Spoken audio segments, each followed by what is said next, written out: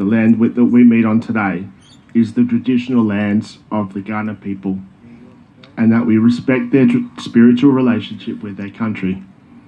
We also acknowledge the Kaurna people as the traditional custodians of the Adelaide region, and their cultural and heritage beliefs are still as important to the living Kaurna people today.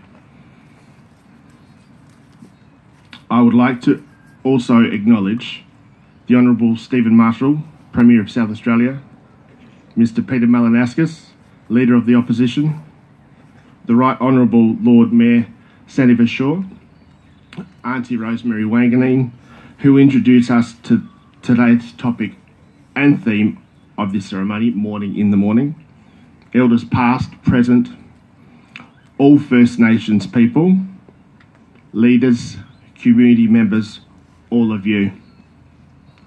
Thank you for joining us today.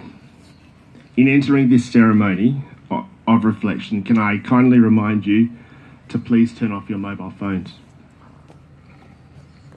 This smoking ceremony